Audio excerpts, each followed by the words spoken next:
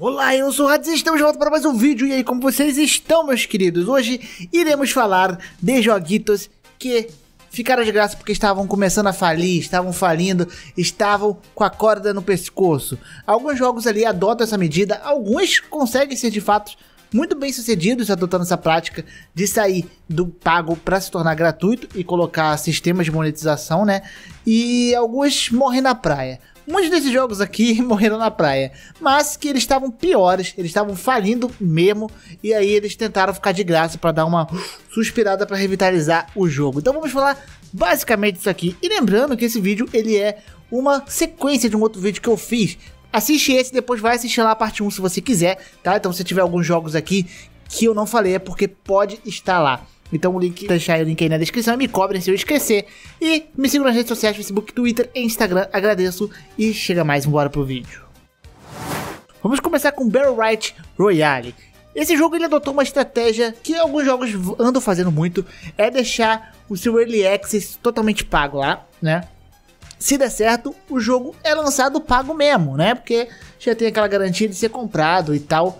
Mas se for ter uma recepção morna, ou se tiver aquela sensação de que o jogo vai morrer com o tempo, os caras saem do Access, dá um prêmio pra galera que pagou o Access e lançam um jogo gratuito com um sistema de monetização ali, né, microtransações, devido ali pro jogo. E aconteceu exatamente isso com o Battle Right. Ele era um jogo que ele tinha proposta de mesclar o MOBA com o Battle Royale, o que era, tipo, interessante, mas o jogo não vingou tanto. Então ele já saiu do Early Access para se tornar totalmente gratuito aí e adotando um sistema de monetização. E na verdade é o certo a se fazer, né? Porque é um mercado muito saturado, né? Ainda mais mesclando dois gêneros mega saturados, que é tipo MOBAs e jogos de, de Battle Royale, né? Entretanto, o jogo ele teve até um certo sucesso e teve um bom pico de jogadores ali na época que ele foi lançado. Hoje ele já está bem mais fraco, tem bem pouca pessoa jogando, mas cento e pouca ali simultâneo online. Mas é um jogo que. É, deu uma respirada aí, mas mesmo se tornando gratuito, provavelmente ele não vai sobreviver por muito tempo. Espero estar errado. E aqui temos um jogo extremamente controverso, que era um MMO chamado Blast Online, um jogo que estava em desenvolvimento desde 2011 e só foi lançado em 2018. E era um jogo que deu uma certa hype pra galera que curte MMO. Ele foi bem falado, tanto que ele teve um pico de mais de 30 mil pessoas jogando durante seu lançamento, mas viram que não era bem aquilo. O jogo, depois de 7 anos de desenvolvimento, ele saiu totalmente defasado, parecia que ele estava em 2011 ainda, e ainda totalmente incompleto, bugado e cheio de problemas, né? O que deixou a galera furiosa. E assim, logo no início que ele estava sendo pago, ele, um mês ali depois mais ou menos, ele já se tornou automaticamente um jogo gratuito. Mas, bem, com a má fama que o jogo tomou, não foi o suficiente para poder segurar as pontas, né? O jogo cada vez tinha mais jogadores caindo, caindo, caindo, caindo. Mesmo os caras adicionando conteúdo novo. Enfim, não deu certo de jeito nenhum. A galera pegou ranço do jogo. O jogo tinha bugs que demorava muito tempo para ser corrigido e era aquela sensação realmente de incompleto para um jogo que a galera esperou por muito tempo. E aí o jogo só foi simplesmente indo no limbo. Foi aquele jogo que tentou ficar grátis um pouquinho para salvar, lançou até loja online, né, com bastante coisinha, mas foi ladeira abaixo, não teve para onde fugir. E o mais engraçado é que os caras tentaram ganhar dinheiro até o final com esse jogo. Porque simplesmente eles anunciaram um pouquinho antes que os servidores do jogo iam fechar para sempre. Sim, é um jogo que fechou para sempre.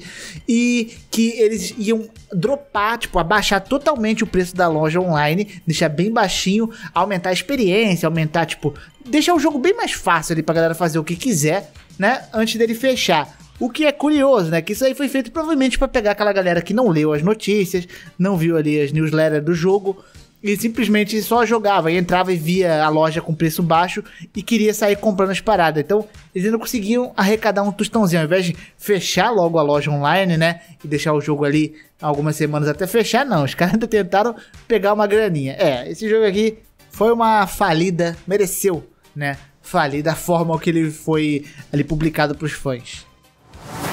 Outro jogo aí que talvez muitos não tenham ouvido falar era o Brink, que ele foi até distribuído pela Bethesda na época. Um jogo ali de 2011. E ele era um jogo focado em tiro em primeira pessoa, porém com duas facções né, diferentes ali. e com personagens baseados em classes. Então ele era um jogo meio nesse estilo de Team Fortress 2, mais ou menos assim, né? E Overwatch, que Overwatch a gente tinha saído na época. Mas enfim, Bem, o jogo ele era mais um jogo de tiro em primeira pessoa, ele tinha umas diferençazinhas, né, com o fato dele, do, das classes e de você usar uma movimentação bem mais diferente para andar pelo mapa, mais parcuzesca ali. E esse era mais ou menos o diferencial. Mas é aquilo, jogos de FPS precisam dançar muito ou ter uma boa, uma boa equipe de marketing para poder conseguir ir na altura dos concorrentes. E olha que a gente não tá falando das épocas de hoje, que eu acho que é bem pior. 2011 não era tão agressivo ainda, mas você já tinha tipo CS, Call of Duty, que eram jogos Battlefield, que eram jogos que basicamente era muito difícil de se concorrer e trazer parte do público para lá. E eu acho que foi isso mais ou menos que aconteceu com, com o Brink. E ele lançou simplesmente com já pouquíssimas pessoas jogando. E aí ele acabou se tornando de graça anos depois, né, em 2017. Foi quando ele teve um pico mais de jogadores na Steam. Que antes ele tinha 9, 11 pessoas jogando ali simultaneamente, ele foi para quase 400 pessoas, né? Mas hoje em dia, novamente, tem essa média aí entre 18 a 20 pessoas online jogando, que é bem baixo. Então é um jogo que já é meio antigo, não vingou tanto e provavelmente um dia os servidores dele serão fechados ali na Steam. Outro jogo aí que inclusive ele apareceu nos jogos pagos que ficaram de graça, é o Fantasy Strike, que é um jogo de luta. Ele é um jogo até bem, tipo, ok, bem legalzinho, mas que ele não fez sucesso devido, tipo, a ser uma empresa pequena, falta marketing. E existem outros jogos de lutas que meio que engolem esses jogos aí no mercado. São poucos jogos que realmente conseguem sobreviver, ainda mais um jogo que ele é tão ali semelhante com Street Fighter. Então eles tiveram a ideia de tornar o jogo gratuito, inclusive ele teve um pico aí que aumentou mais de 10 vezes o número de jogadores que tinha ali. E ele se tornou totalmente gratuito, até os personagens do jogo são todos ali acessíveis, com a diferença que o jogo agora eles colocaram tipo uma forma que você paga, você desbloqueia algumas features dentro do jogo, tipo fazer boss rush ou você poder jogar em co-op local. Foi a forma que eles conseguiram monetizar sem ficar vendendo personagem, que é algo bem chato. Então foi uma estratégia legal. Teve um aumento ali de pelo menos mil por cento, de acordo com o Steam Charts, de jogadores em relação ao que ele estava antes. Então foi bom, embora não tenha muita gente jogando, pelo menos o jogo deu uma suspirada aí. Não é um jogo de todo ruim. E por último aqui nós temos a nossa menção honrosa, que é o For Honor. E por que menção honrosa? Porque o For Honor ele não está de graça para sempre, mas ele adotou uma estratégia muito inteligente. Porque o For Honor quando ele lançou, ele era extremamente zoadaço mesmo. Era um jogo com muito problema, principalmente nas conexões malditas que a Ubisoft não colocou um servidor decente para isso aqui. Hoje o For Honor eu não tenho jogado, mas falaram que melhorou muito.